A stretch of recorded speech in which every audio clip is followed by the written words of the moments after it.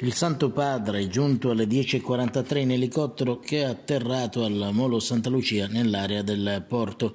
Ad accoglierlo il prefetto Antonella De Miro, l'arcivescovo Corrado Lorefice, il presidente della regione Nello Musumeci e il sindaco di Palermo Leluco Orlando. Poi, con la papamobile sfilando tra due ali di folla in festa, si è diretto verso il Foro Italico che brulicava di fedeli. In 80.000, tutti per lui. Prima di mettere piede nel capoluogo siciliano, il pontefice aveva fatto tappa a Piazza Armerina nell'Ennese, accolto da 40.000 fedeli.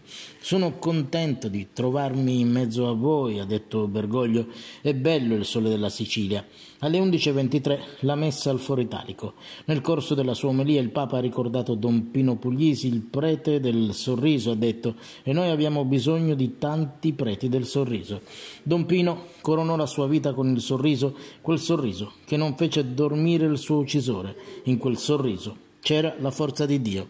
Ed ancora, Don Pino non viveva di appelli antimafia, ma seminava il bene, tanto bene, che mafioso non vive da cristiano. Oggi abbiamo bisogno di uomini e donne di amore, non di uomini e donne d'onore, di servizio, non di sopraffazione, di camminare insieme. Perciò, concluso il Papa, ai mafiosi dico cambiate, smettete di pensare a voi stessi e ai vostri soldi, convertitevi al vero Dio di Gesù Cristo altrimenti la vostra stessa vita andrà persa e sarà la peggiore delle sconfitte. Finita la messa il Papa si è recato in via dei Collati per pranzare con 150 fratelli della missione Speranza e Carità con detenuti ex tossicodipendenti e migranti.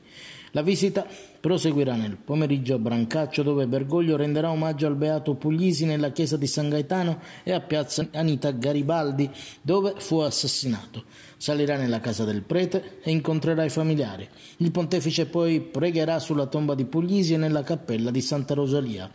Quando alle 16 avrà finito di parlare in cattedrale, si dirigerà al Politeama per l'incontro con i giovani. Alle 17.30 è prevista la partenza. Dobbiamo partire sempre da Gesù perché la gioia viene da Lui, quindi anche con la preghiera, con eh, questo, questa volontà e voglia di cercarlo, perché ci mettiamo là davanti a lui e lui ci riempie di gioia di Spirito Santo e da lì vengono tutte le altre cose.